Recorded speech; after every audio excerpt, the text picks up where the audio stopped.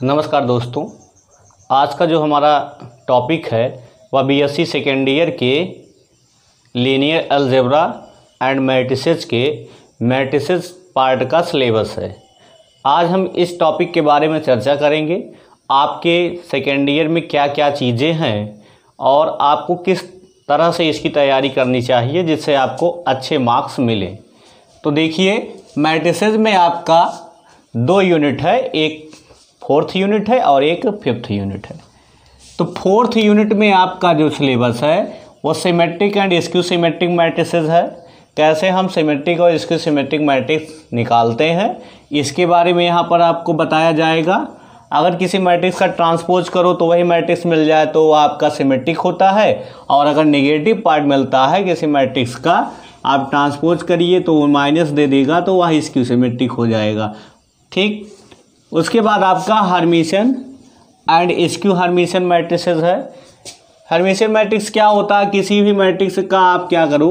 Transpose निकालो, उसके बाद कांजुगेट निकालो। या कांजुगेट निकालो, फिर ट्रांसपोज निकालो। तो वही मैट्रिक्स अगर मिलेगा तो आपका हर्मिशन मैट्रिक्स कहलाएगा। इसे A raise to power star से डिनोट करते हैं। अगर यही नेगेटिव में मिल जाता है माइनस में मिल जाता है तो वह आपका क्या हो जाएगा? इसकी हर्मिशन मैट्रिसेस हो जाता है। ठीक? इसके बाद इसी के रेस्पेक्ट में हमारा आर्थोगोनल और यूनिट्री मैट्रिक्स होता है। आर्थोगोनल और यूनिटरी मैट्रिक्स कैसे निकालते हैं, इसके बारे में यहाँ पर आपको जानकारी दी जाएगी। और फिर उसके बाद ट्रायंगुलर एंड डायगोनल मैट्रिसेस। तो ट्रायंगुलर में दो होते हैं, एक अपर होता है, एक लोअर होता है। उसको बताया जाएगा और डायगोनल मैट्रिसेस कैसे हम ड्रा करते हैं इसके बारे में। डायगोनल मैट्रिक्स के बारे में आपको पता ही होगा कि लीडिंग डायगोनल एलिमेंट रहते हैं, बाकी सब ज़ीरो रहते हैं। तो एक यूनिटरी टाइप का होता है और एक जो होता है आपका, दिया जाता है, जो कोई भी एलिमेंट्स होते हैं। ठीक? इसके बाद रैंक ऑफ़ अ मैट्रिक्स हम निकालते हैं। रैंक कैसे निकालते हैं? एलिमेंट्री ट्रांसफॉर्मेशन के थ्रू भी निकाला जाता है रैंक और एस्लोन फॉर्म से भी हम रैंक को निकालते हैं। और नॉर्मल फॉर्म्स भी आता है। आपका इचलोन फॉर्म के थ्रू ही हम नॉर्मल फॉर्म को भी ड्रॉ करते हैं। तो इचलोन फॉर्म में क्या होता है? आपका जो जब मैट्रिक्स उस फॉर्म में कन्वर्ट हो जाता है तो जितने भी नॉन ज़ीरो रोज होते हैं, उनको हम उसकी रैंक कह देते हैं। ठीक? Inverse of a matrix by elementary transformation. Elementary transformation क्या होता है? इसके बारे में आपको बताया जाएगा। रो और कॉलम एलिमेंट्री ट्रांसफॉर्मेशन है। दोनों की चर्चा यहाँ पर होगी और उसके रेस्पेक्ट से हम कैसे किसी मैट्रिक्स का इनवर्स निकालते हैं, ये भी बताया जाएगा। ठीक? इसके बाद यूनिट जो फाइव होती है, उसमें कैरेक्टरिस्टिक इक्वेशंस आपके आते हैं। कैरेक्टरिस्टिक इक्वेशन कैसे हम ड्रा करते हैं? कोई मैट्रिक्स से दिया है लैम्डा हम मान लेते हैं, कोई आइगन वैल्यू है लैम्डा और आई हमारा क्या होगा? यूनिट वेक्टर होगा। इसे निकाल कर इज़ इक्वल टू ज़ीरो करते हैं तो हमारा कैरेक्टरिस्टिक इक्वेशन ड्रा हो जाता है। अब इसी कैरेक्टरिस्टिक इक्वेशन में जो लैम्डा आपका है, वो आइगन वैल्यू को रिप्रेजेंट करेगा। और फिर आइगन वेक्टर्स जो होते हैं किसी मैट्रिक्स के इसी लैम्डा के रेस्पेक्ट में हम निकालते हैं, ठीक? तो यहाँ पर ये वैल्यू डिफाइन होती है, उसके बाद कैलस हैमिल्टन थ्योरम जो होती है, ये काफ़ी इंपॉर्टेंट थ्योरम है, जो इसी कैरेक्टरिस्टिक इक्वेशन को कोई मैट्रिक्स कैसे सेटिस्फाई करता है, उसके बारे में यहाँ पर चर्चा की जाती है, ठीक? तो जब ये हमें मिल जाता है तो इसी के रेस्पेक्ट में it's use in finding inverse of a matrix इसके रेस्पेक्ट में इसी के यूज़ से हम किसी मैट्रिक्स का इनवर्स भी निकाल लेते हैं। जैसे एलिमेंट्री ट्रांसफॉर्मेशन से भी आप इनवर्स निकाल सकते हो। कैले हेमिल्टन थ्योरम के माध्यम से भी आप किसी मैट्रिक्स का इनवर्स निकाल सकते हो। तो ये भी बताया जाता है कैसे निकालते हैं। जब कोई मैट्रिक्स आपका कैले हेमिल्टन थ्योरम को सेटिस्फाई करता है तो क्या होता है, जो आइडेंटिटी का पार्ट होता है, इसको राइट साइड में ले जाते हैं। उसी मैट्रिक्स के ए इनवर्स पार्ट से मल्टीप्लाई कर देते हैं दोनों साइडों में तो कोई चेंजिंग तो आती नहीं है। आपको पता है तो जो वैल्यू हमें मिलती है राइट right साइड में तो इनवर्स है लेफ़्ट साइड में जो वैल्यू मिलेगी, उसे सॉल्व करोगे तो इनवर्स निकल जाता है मैट्रिक्स का। इसके बाद application of matrices to solve a system of linear equations तो किसी भी लीनियर इक्वेशन को सॉल्व कर, कैसे किया जाता है? With the help of matrices तो उसके बारे में चर्चा है।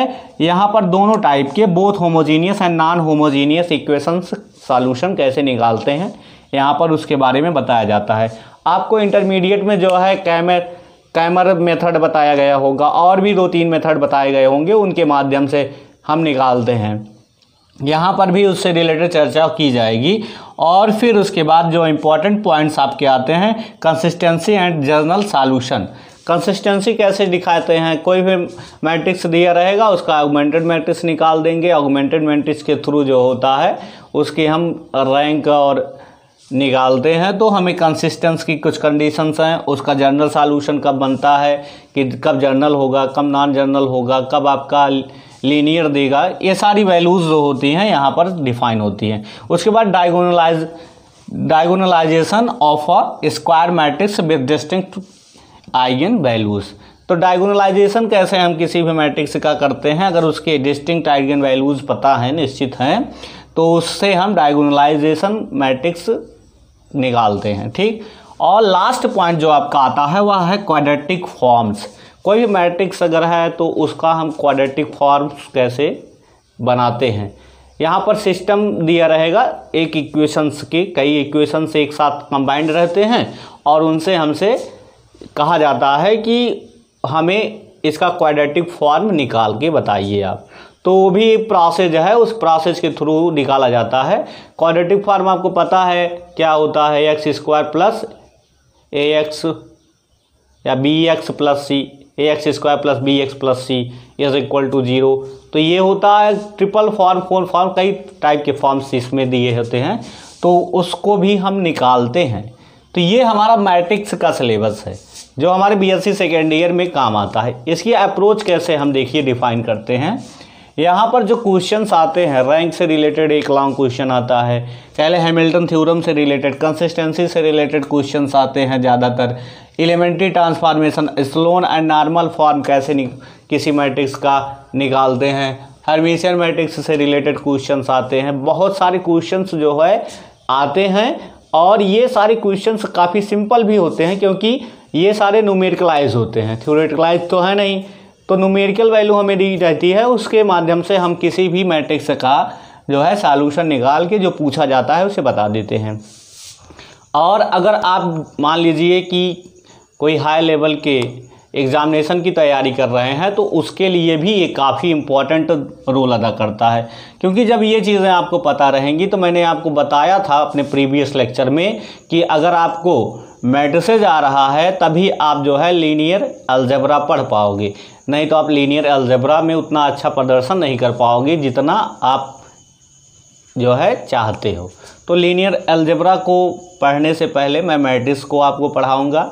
मेरा जो अगला लेक्चर होगा वो मैट्रिसेस से ही रिलेटेड होगा। Thank you for watching my video